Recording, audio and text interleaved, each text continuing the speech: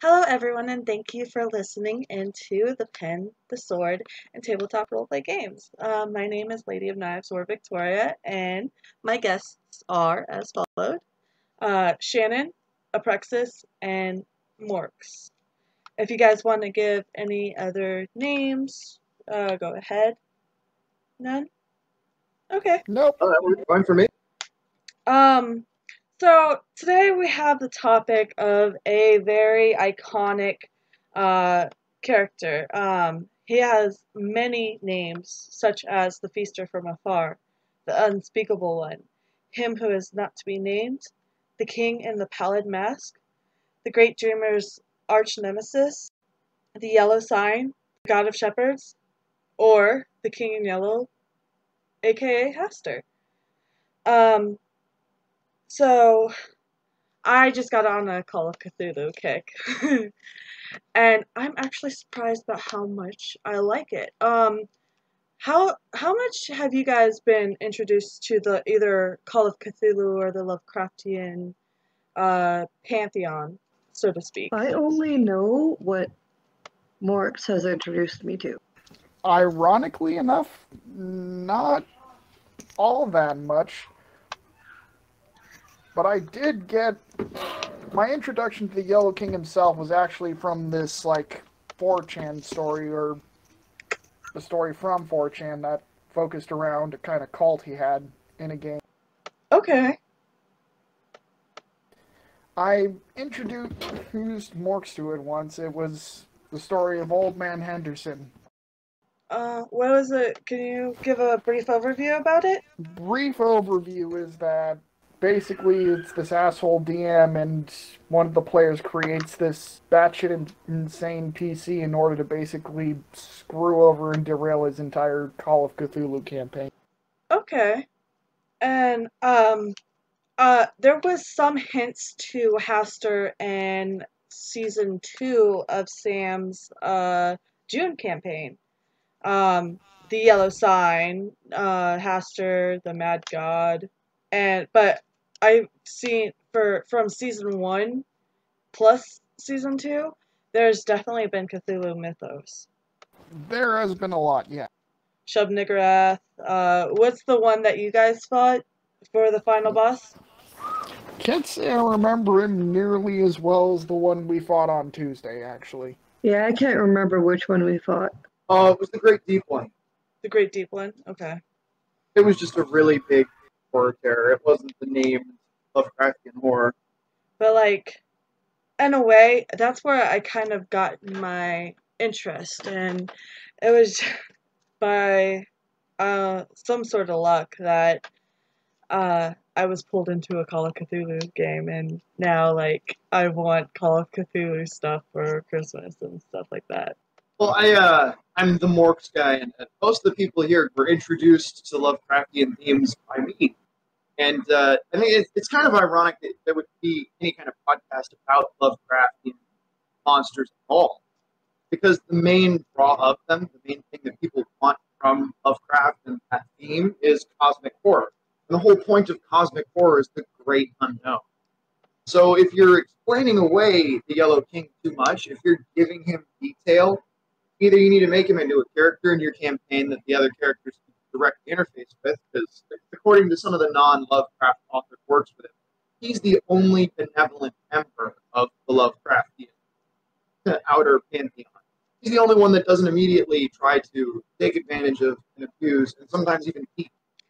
In fact, Um, I th- uh, from a little bit of research uh, that I did today and for the past couple of days, is that he's actually no physical threat. He tends to be more a psychological threat. He does relish in making people go insane. hmm Um, but people also think that he might just be a reflection of Nyarlathotep. So it's it, it, it really is completely up to the person using the Lovecraftian monsters how the Yellow King even fits in. Because so many different monsters in Lovecraft are exactly the same monster. And a lot of people think that uh, the Yellow King isn't even the Yellow King, that it's just a, a manifestation of Cthulhu's dreaming. And that Cthulhu is a self-hating monster just like the rest of us, and the Yellow King is his conscience. Um, Yeah, there's a, there's a whole lot of different ways that it could go, And there's no right or wrong answer because Lovecraft himself even says that he has no idea what most of the monsters even do, and that, well, that that's the whole point. These cosmic horrors are beyond human comprehension.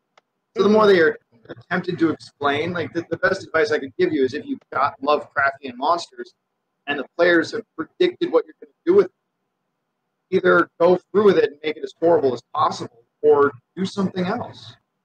Yeah. Like completely. They're bad gods and their motives are unknowable.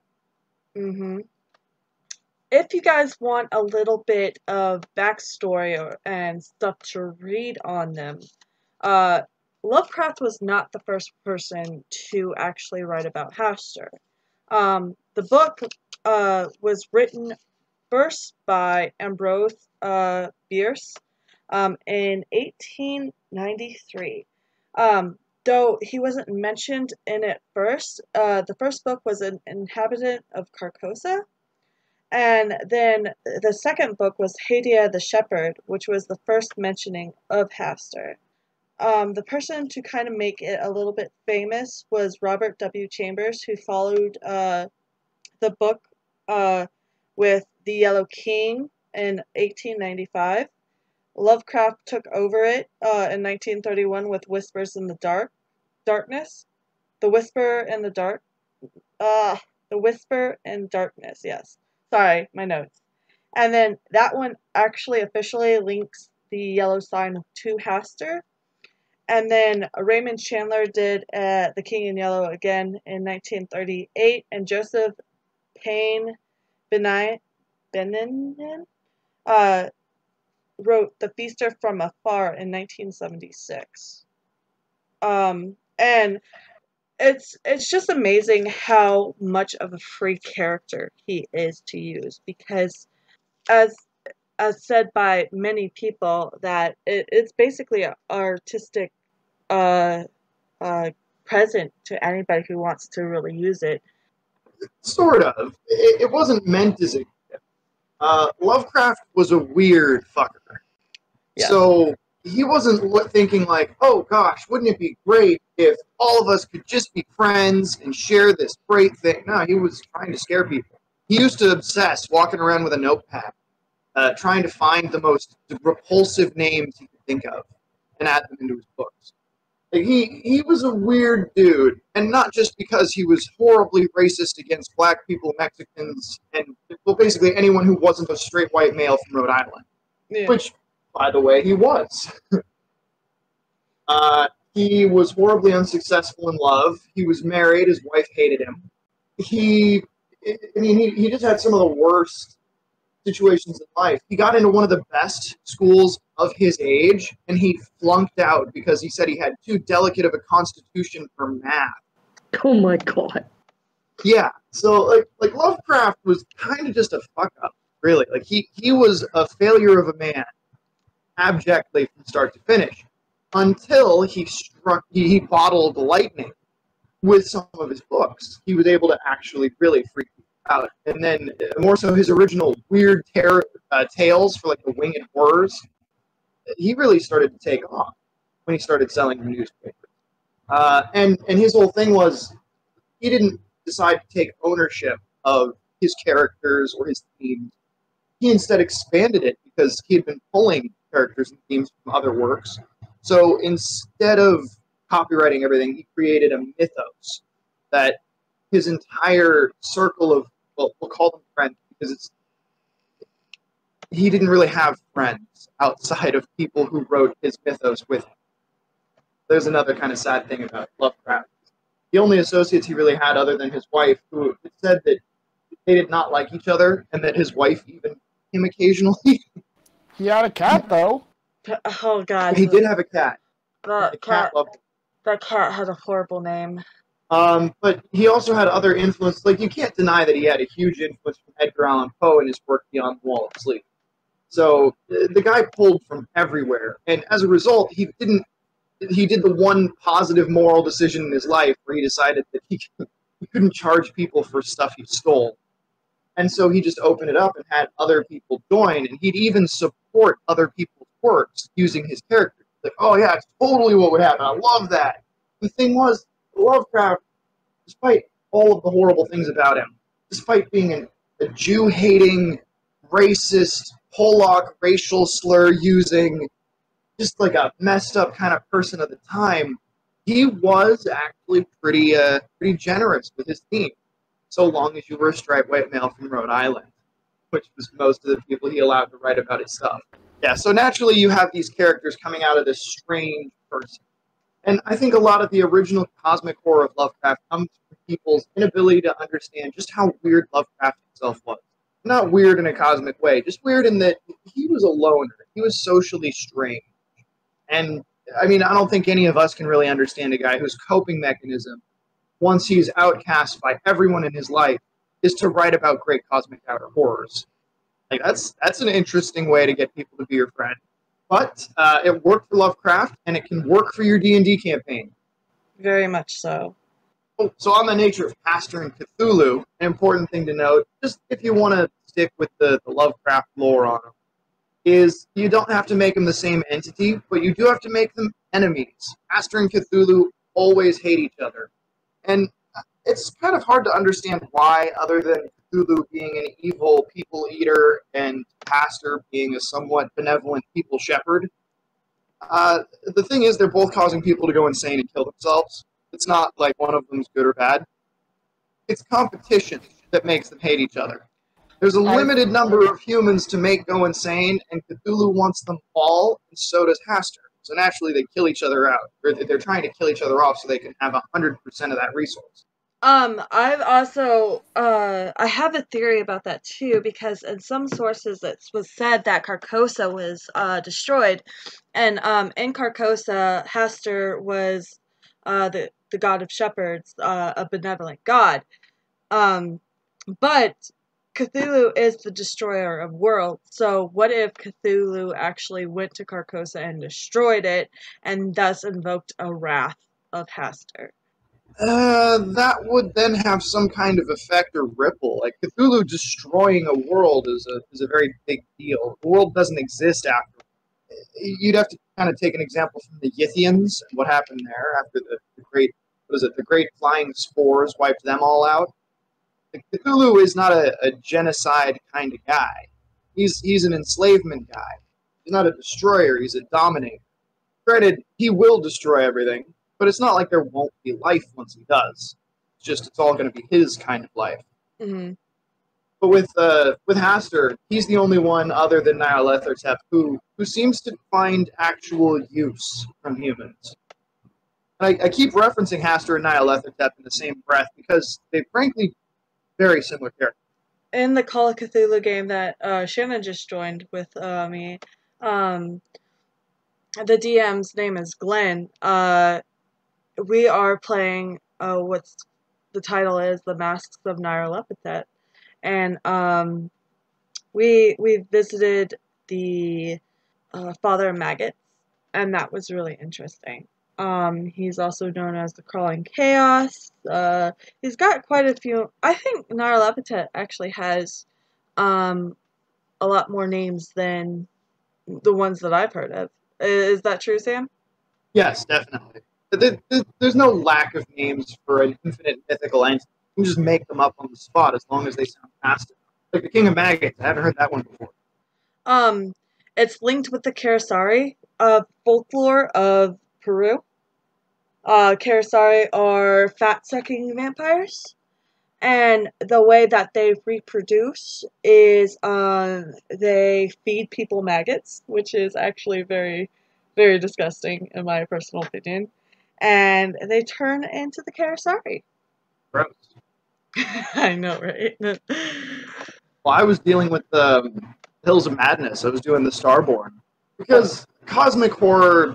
Sure, everyone's afraid of the Mind Flayer parasite, so you can just rework that. Great. Um, or you could rework the Corpse Worm Plague, which is even better, I think, than the Mind Flayer maggots, which require Mind Flayers to stick them in your ear, whereas a Corpse Worm can just jump at you Oh, is that what was in season two? Uh, no, no, it's going to be what's in season three. It's a sneak peek into Athos. Oh. But the thing is, it's, it's better to have a, a system of conversion that happens either passively or actively in a way that is horribly ununderstandable and unavoidable. See, you know that it's it's these. They feed you a maggot. There was no description of the maggot. It's not a special maggot. It's just a maggot. So then, do you have to be fed one by one of these fat suckers, or it, does anyone who eat a maggot become one?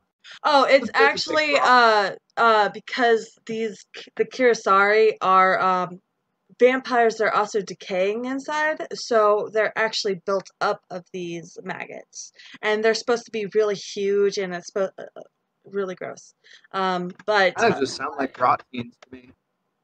is that They're actually they're not a Lovecraftian.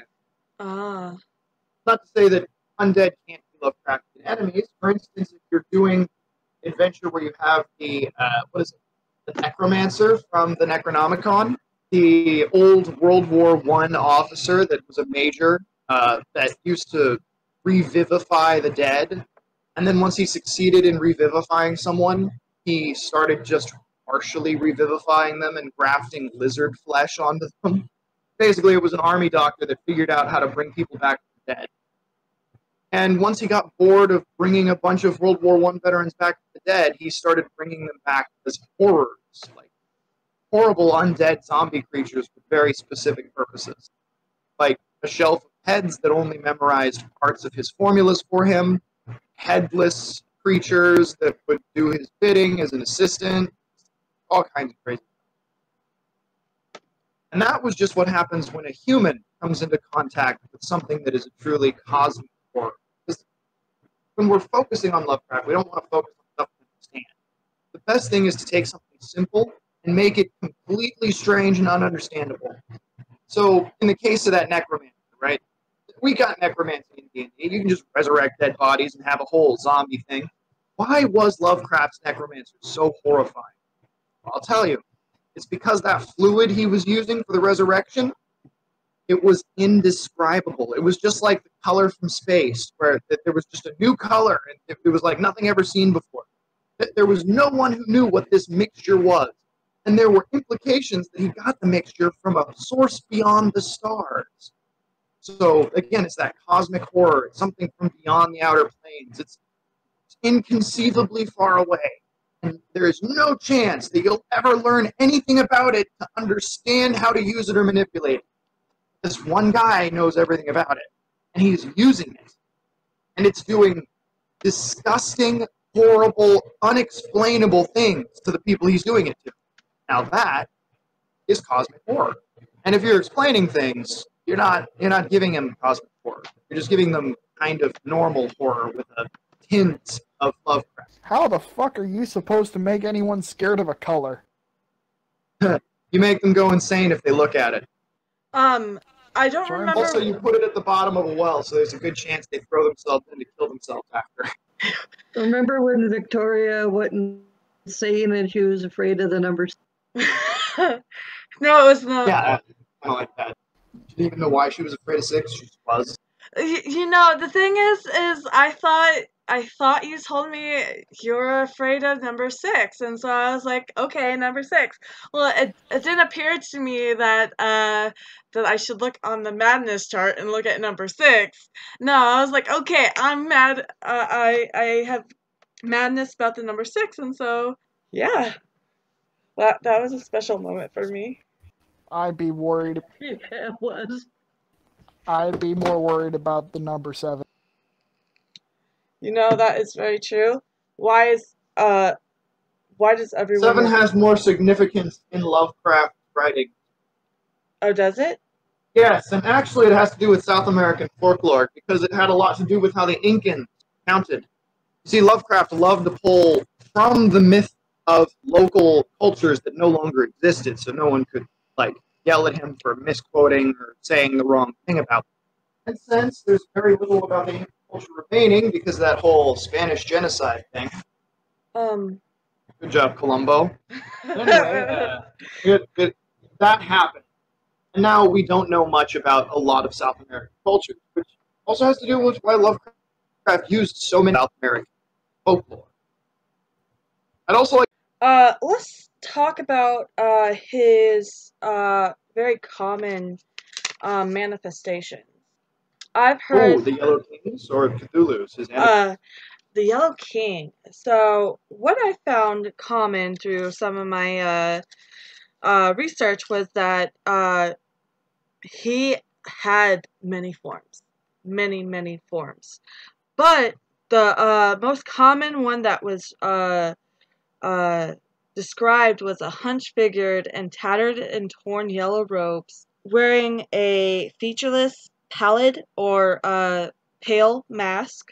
Sometimes it said it was crowned or not, and then it had uh, tentacles of an octopus. Yep, standard for love, Lovecraft. Th- That when I was reading it, there was another one that was also as like it, which was basically just a big yellow tentacle beast. It was basically like his humanoid form, but far less humanoid, Yes. much larger.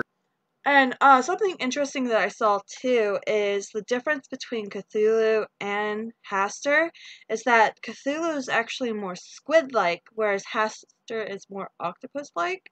And I guess that is to try to draw the difference once again That- between the two. Uh, Lovecraft didn't know the difference. oh, he didn't know the difference? No, he did not.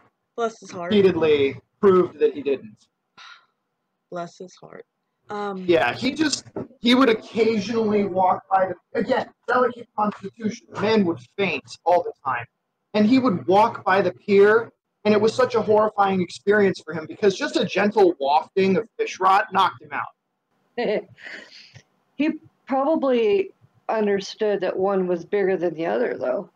Or he left it open to interpretation, like he did with a lot of his characters. Waited for his uh, associates to flesh it out. Because again, there are some pretty heavy implications in some of the stories. That Nyarlathotep and the Yellow King are one and the same. Ben pointing out the King in Yellow might just be another mask worn by the real crawling horror. mhm. It, it's very likely because they are very similar. They both shepherd and cause insanity in humans. They seem to be mostly anthropocentric, which means they ignore most other species. And that's a huge deal in the Lovecraftian universe because there are a million and a half more aliens that are way more entertaining than humans. Yeah, like uh this has like I have personally not read any of Lovecraftian's work, but now I just I really do want to. So, first thing I, I gotta recommend to like everyone that listens too, if you're gonna do a Lovecraft campaign, or you want to understand more about the weirdness of Lovecraft, but you don't want to go through reading all of his scrawl, go on YouTube and look up the Necronomicon audio audiobook and just just listen. It Takes uh well the, the first part takes two and a half hours, but even the first third of the book is a lot of material to go off. Like the Necronomicon isn't just a, a big ritual book that's that's meant to scare people. It's a collection of Lovecraft short stories. And uh, the idea is that all of those short stories are in the same universe, and it's all in this book written by a mad Arab, but it's actually written by him. And again, just just, pointing out the racism there. He says it was written by a mad Arab. It's like, uh, can we say that? Then it, anyways, moving on from that strange way to phrase it. Uh, yeah, you just read some of his works and or have them read to you since we have technology. It only takes really just a couple hours to get a good grasp on some of Lovecraft's most beloved themes. And those themes, I think, are, I mean, I recommend The Hills of Madness especially. Like, creatures that you are encountering that you never see as the player. So, that's far more terrifying than, say, a night hag that you know what kind of a, an issue you're going to deal with with a night hag. But with like a starborn, you have a mining colony of a bunch of starborn living nearby. People just go missing, and if you mess with them, there's going to be scratches and strange like footmarks on your door. You're going to wake up in places other than your house because they're going to be freaking mind controlling you in your dreams to bring you out to do experiments on you. Because they're so interested in humans that are mentally present enough to be able to see them. Because most humans don't even realize they're there. Oh, Um but if humans ever did figure out that they were there, they'd just blast the entire planet because they're 100% within their, their means to do that, which is a distinguishing feature of the Yellow King and all of Lovecraft's enemies and the creatures he makes, is that they're not defeatable. They're not things that the players can. These are the cosmic horrors. These are things that have been in the universe for infinite years, and it's irrelevant how they would live or die because they can't die. They will continue to be in some form or another forever. Sure, you can slay a couple of their minions, maybe you can kill a starborn, maybe you can kill a few Yith, but you're still going to get wiped out. That cosmic force that is behind them, that whole race, they're going to come calling. And there's nothing you or even the combined might of every player you know and every fantasy village you've saved could do to stop them. That's part of the cosmic horror. Is here it comes, and it's so overwhelming there's nothing you can do to stop it. So think about that with Hastur too, is that at any point, despite being benevolent, he could snap and wipe out Mhm. just like his enemy. And what's really interesting too about some of Lovecraftian's mythos and Hastur specifically is that uh, Hastur can actually be referenced as supernatural events, places, and entities. So it doesn't actually have to be just a person because Hastur's sign is considered Hastur. The method that Hastur's sign works off of is it makes Hastur appear to be a mimetic monster, which is to say that that yellow sign sort of scars his presence into the mind of everyone who sees it, and then the insanity that, that it causes in their minds feeds him power. And he's often thought of almost like a patron of writers and artists and um, anyone who can create uh, quote unquote mad pieces of art. Yeah, but so is Cthulhu. So, do they compete in that area too? I would imagine they would compete in everything they could. I mean, they are true enemies, even if they are the same person. hmm And I I've done just a little bit of research. I barely scratched the surface of it, and I know it. And it, it's just like beckoning me forward. It's like I mean, isn't that always the case when you find a new obsession? true. And I guess my obsessions do lie around tabletop roleplay games. So Well, your obsession ought to draw you to reading the uh, base material. That would help a lot. mm, Like, I'm I'm actually finishing up the Necronomicon right now. I've been uh, listening to it between lessons in Latin. Latin and Cthulhu. Nothing can go wrong with that, right? They do not go well together, actually. No. Remember how I said Lovecraft was not an educated man? Didn't know Latin. Not very well. He just knew a few, like, extra phrases, like, of nothing, nothing. no. So you it sounds like you really like the Starborn out of all of them. Well, the Starborn are a great example, and the Yithians, of a Lovecraft race. Both of them were great intergalactic races at one point, who were beyond spaceships. They could travel with their physical bodies to any planet they wanted. They would come to Earth to occasionally mine metals and resources, and they still maintain some mining colonies. But the main point of them is that no one really knew what they looked like in most Lovecraft enemies, there's some vague descriptions that people give, but really it's no more than if they'd seen some wild animal running around in the bushes. They can't actually put what they see to words, even if they do manage to see one. Like these creatures are just beyond description. They're beyond knowing. Like the Yithians aren't even in their original body. They're a race that has been genocided and chased from planet to planet so often that they've replaced their original bodies because they can psionically take over new bodies. Oh, by the way, that means a Yithian can take over your body during a just saying, that's that's awesome. Oh, and you know what the Yithians originally looked like? Because we do know what Yithians originally looked like. What? So a Yithian is any individual that calls themselves a member of the great race of Yith. Uh, now, you might remember from season two, I made a wand called the Wand of Yith that had a very broken ability. Uh, for the sake of content, I won't tell people what it was, though. I'll get, I'll get some, how could you do that? You'll break your campaign. But people who don't know how resilient June is. Uh, but the great race was said to be nearly omniscient. Each member of them almost knew everything. So they had approximate knowledge on everything. Like you'd walk up to them and they'd already know your name and where you came from. They just wouldn't know exactly what your last job was. So uh, they, they decided to become interplanetary traders. And some of them decided to try to find the origins of the universe. Apparently, trying to find the origin of the universe dooms your species in Lovecraft because you end up interfering with one of the great old ones, or, you know, Lovecraft forbid, as a Azathoth. And then once you mess with that, you basically just go insane and die. Uh, which they did in the Cretaceous era about 66 million years ago on Earth. so, yes, the Great Race of Yith is also like an alternate history. It's a, it's a historical fiction on Earth. And in fact, Lovecraft even goes further to say that in the histories of Earth alone, there are uncounted alien races who have risen and fallen on our very planet, and we simply live above them on this most recent layer of Earth. Which, uh, I mean, considering his very limited knowledge of, of things like geology and volcanic activity and, and tectonic plates, he did a pretty good job of, of trying to imagine over how many years, like, the mantle would have shifted and we could have had entire civilizations buried and never known about them. Like, what if they weren't even human? So Lovecraft made this whole mythology off of very believable curiosities that we even find real archaeologists have today.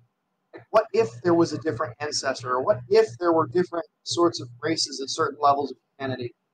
Now we've, we've we're pretty conclusive that we've got a good a good gist of what kind of life we've had on the planet by now. But it is still a great question. Like, what if we decide to try and do a little archaeology on another planet?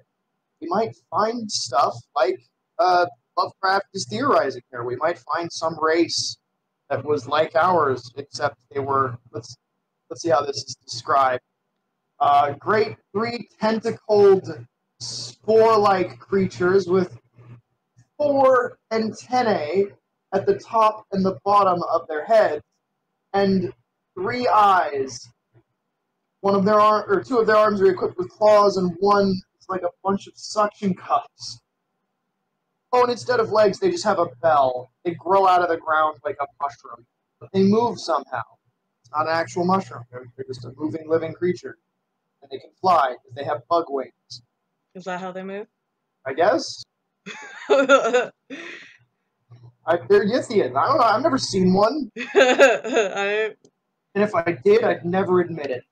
After all, humans are not meant to get involved in the affairs of greater races. It's, as Lovecraft points out in all of his stories, it's a mortal mistake. It's just about everyone in his stories dies or goes insane. In, in just the worst kinds of ways. oh my gosh. Yep, and that's what I'm reading while I'm preparing Athos. oh lord. I won't be able to play that. So sad. Yeah, but I just might. Depends on my schedule. Yeah. It's it's so interesting. Uh I love homebrew worlds so much more than I like uh playing in like Faerun or I mean Earth is okay just because you could do so much to it because we have so much experience with it like to take urban fantasy to a whole new level. But even like that uh don't get specific about places or anything. Well, Earth is a shortcut. Like Faerun, Eberron, all of the different lands that have been described in D&D, what do they all have in common? Homework. There's books and books and books that you have to read before you know all about them. Before you're really, really like 100% prepared for any question that's going to come from any kind of lore nerd on the side. Comes up to the player and is like, um, actually, Mycorn Rockwing wouldn't be at the bar right now because at two thirty he had a hair appointment. It's like, fuck you, dude. How did you know that?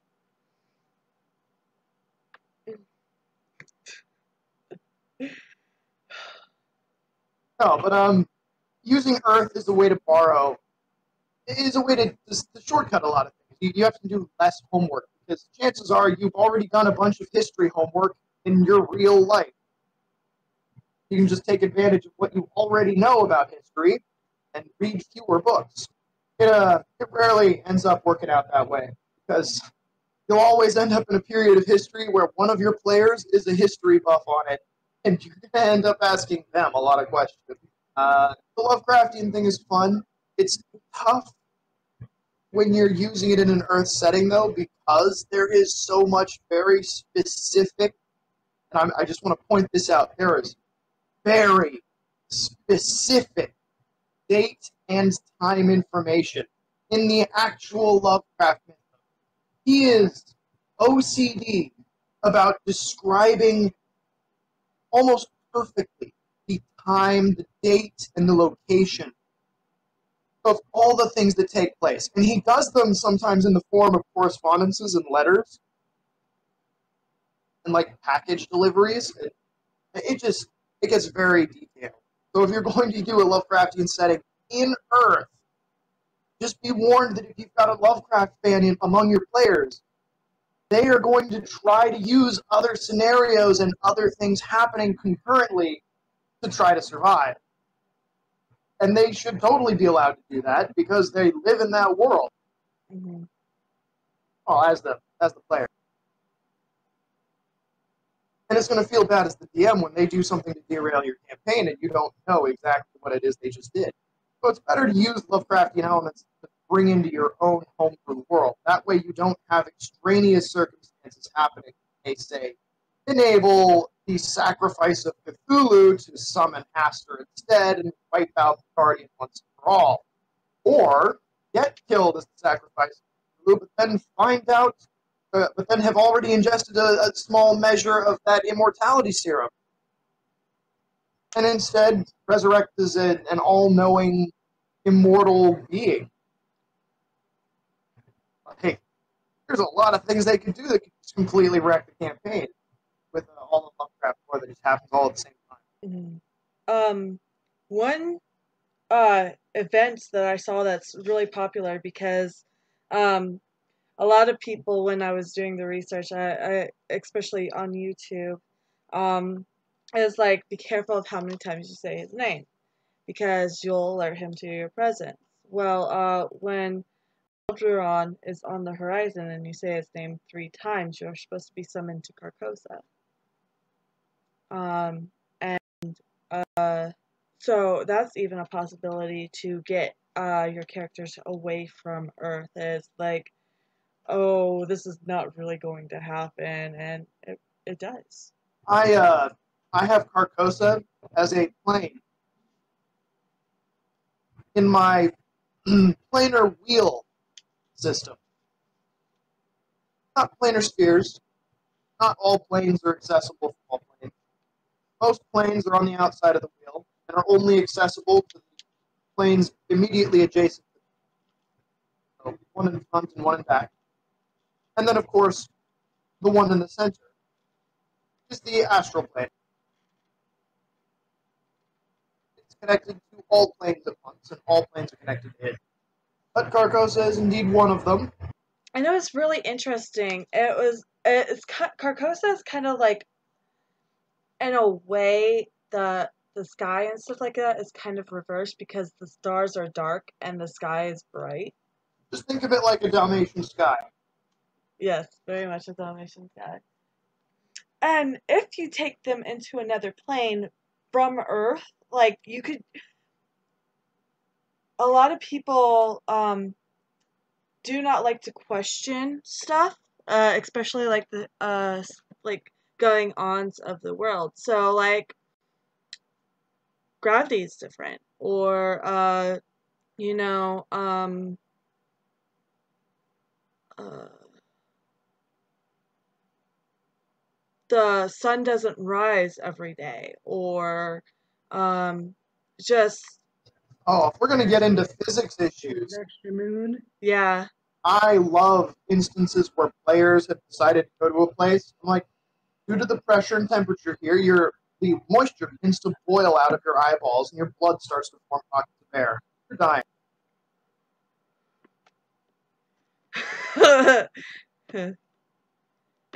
All you have to do is reduce atmospheric pressure, say in vacuum, very quick death. I feel like something like that would belong in a sci fi campaign. Or any campaign, like in a Lovecraftian setting, where the monsters come from space. That is true. In a way, that's still sci fi, right? Mm -hmm.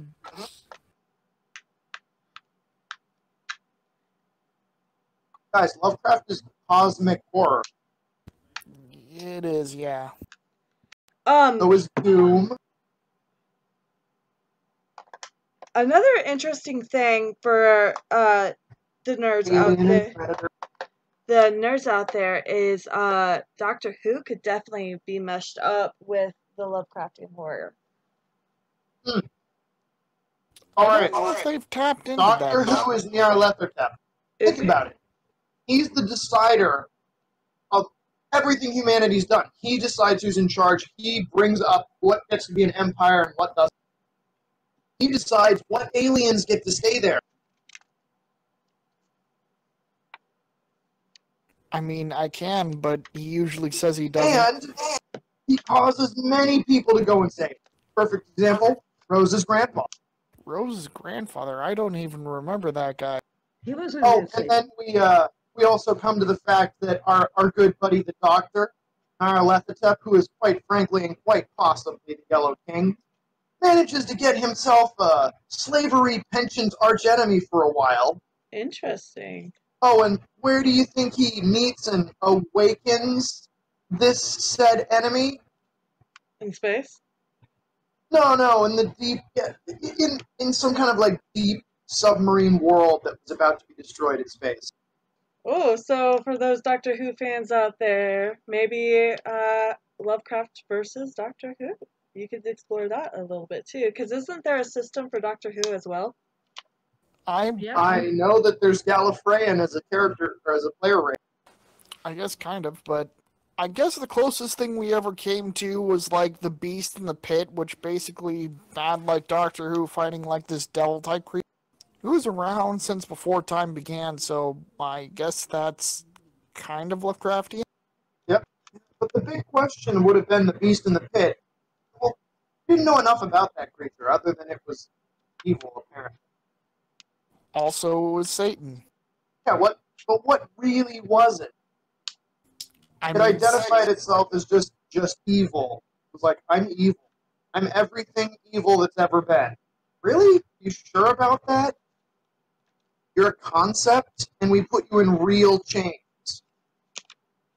What kind of fucking science voodoo is this? I, I just want to point out that first off, that belies metaphysics, like nanometaphysics, and a scientific level. So imagine this. And then this is the way I would sci-fi explain it, if, if you will. So you got nanobots in the air, right? And you got these people that learn how to use them to do quote unquote magical effects, like heat them up, you, fireball, or you, you can take away the energy and you, like make them all stand still. It's like hold person. So what if there were these people who could externalize and manifest their emotions as hideous, unrealistic, horrible looking creatures? Just truly terrifying, horrible things made from the twisted and anguished emotions of this strange kind of nano mage. I would call them a metaphysicist because they've very realistic, they've very literally em- embodied their emotions or their feelings into a creature that they can then use as a weapon. oh, that's so cool. Yeah, so you can attack people with your your hatred. So, like, what if this was a society manifesting all of their concepts of evil into a real physical creature? Yeah, it explains why it's so powerful. But uh, probably should have been able to destroy it. Like, why did they just keep it locked up in this chamber here? Was it just like one of their sick twists? They're like, hey, look, this is the thing that we created to be the ultimate evil so we could throw our drinks at it. What was its purpose? Because we could. I guess. I mean, yeah, they could. But that's interesting too because can you actually even defeat it? And if you're just throwing like drinks and stuff at it, doesn't it make it stronger because it feeds the hatred? And just the concept of everyone thinking that it's all fun, fun and dandy and stuff like that, and when it actually gets out, the true terror begins because you know you've done wrong against your own anger. Yep. It's got a lot of implications. Lots of fun things for the characters to try to figure out for themselves. I haven't. I didn't used to be such a, a sci-fi person, but I think it's changing a lot now. Because of all the awesome new video games coming out. Yeah. and Cyberpunk has just recently did a new um, edition too, and Starfinder. A lot of things are shifting towards space. I can see that a little bit. Then again, I'm not sure if Cyberpunk has anything to do with space. And again, I don't know much about Cyberpunk. Uh, well, Cyberpunk is like a more of a modern type of RPG. It usually uh, takes place in modern era. I thought it's Um, futuristic. like, uh, Kind of like early 90s concept of 2020. yeah, pretty much. Yeah. Tharizdun. Oh. If you want an RPG out in space, I'd probably recommend Outer Worlds. Now, if we want to talk D and D lore, I could go on quite a rant about Tharizdun. Oh, and if we wanted to link it to Lovecraft, Tharizdun is Azathoth. He is the, the great blind dumb god, or and they call him in uh, in D and D. They've, they've got a couple names for that. Uh, it's said that Tharizdun is a, is also Dendar, the one the lizard folk uh, claim will come and eat the sun and end the world. But uh, the, the way that it goes is Tharizdun was the name that the gods knew him by. He was a fellow of theirs, like one of them. They knew him, but at the same time, his powers were indescribably different and more dangerous to them. Because Tharizdun was the master of two planes. He controlled the planes of, what was it, creativity and creation where he was, he could simply imagine things into being. Kind of broken considering that the next runner-up was Asmodeus. So, like, I'm I'm Big Devil. Oh, I can make anything. I can make more of you. That's not fair. Yeah, it said that they were able to trick him into basically creating a mini-verse inside of his own plane and just going in and living in that not realizing that theirs was completely Tharizdunless at that point. So Tharizdun's just trapped in a dream, in a way. He's trapped in a mini-verse of his own creation that he forgot he actually went. Which means that all the gods that knew him are terrified that he's going to find out someday and realize that they tricked him and just completely wiped them all out. Apparently he wasn't one for betrayal. As most gods aren't. Yeah. So, yep, you've got this like all-powerful, crazy creator god thing that's that's trapped in a prison of its own making. In most D and D universes, that's just Tharizdun. He's he's hanging out down there in the bottom of the abyss, conceptually, because there's no true bottom. Yeah, he says really close to a like as a Azathoth, like you said. So Yeah, you know the the god that's in its own dream and kept distracted by its personal army of, of dancers. Yeah, And here's a good question. For a god who can create anything and uh will it into bring, being, um, what would they create? And more importantly, how what's the link to from that to beholders? Well, even more importantly, this thing that they're running down there, the miniverse, it's not like it's an illusion. It is its own universe. You've got something going on in there. Let's go even further on that concept. What if it's not a trap? What if Tharizdun was never trapped? What if Tharizdun's just not from your universe? What if he's an outer creature? See, the only way an outer creature can come into a universe first is it, it, it's too insanely difficult for it to try to get in by directly jumping in. It has to go through this this infinite conceptual void, it's unbreachable. but maybe if it's able to send out sort of an idea of itself, sort to start to lay out the blueprints for itself conceptually in that. See if it can even exist there in a way that it would be acceptable. What if Tharizdun never existed, but using his power has forged a delusion in the minds of those gods to fear him and to know him as if he were part of their history. So that someday, when the connection is strong enough, he can make. And suddenly, their universe will collide with his. Oh my god. I'm just saying, what if it's not that he was actually there through history? What if that's another universe trying to lay out a fishing line? Say, someone bites, it's going to try to reel you in. hmm And in, you know, the personal homebrew lore I've got, that's exactly how June interacts with other universes. So it's perfect that that's pre-written into the D&D lore of most worlds, because it means June can attach just about anything. You just make it so that that prison that uh, Tharizdun is in is June. And it's not a prison, just his world.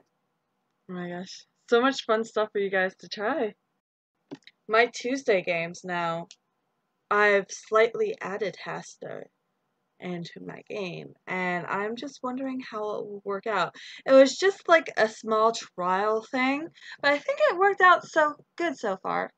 Because is it the question is, was it just one outer god that was um with in that in that bar or was it more?